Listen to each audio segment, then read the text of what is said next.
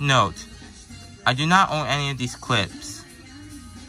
I and I and I do not own any of these shows. Dora the Explorer, Go Go, Ni Hao Kai-lan, Wonder Pets, Team Umizoomi, and Wallykazam are all, are all owned by Viacom and Nickelodeon. Mickey Mouse Clubhouse is owned by Disney, and Little Liza is owned by Disney and the Baby Einstein Company. So, what's the one thing that bothers me about preschool shows that I like? Well, it's this. We need to find the diamond. ¿Dónde está? Do you see the diamond? Sí, ahí está. Do you want to go for a ride with us? Great, come on.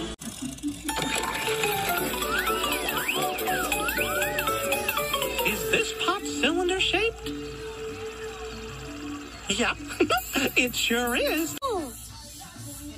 We found some gold. How many pieces of gold do you see? Three. We found three pieces of gold. Wins a day at the brand new animal playground. Do you like playgrounds?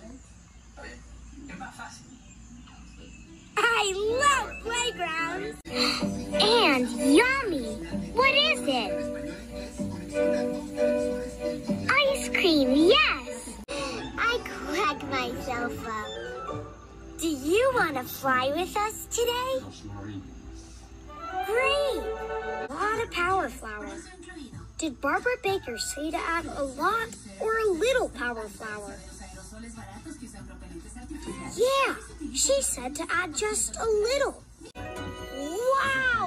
At Tolee's house.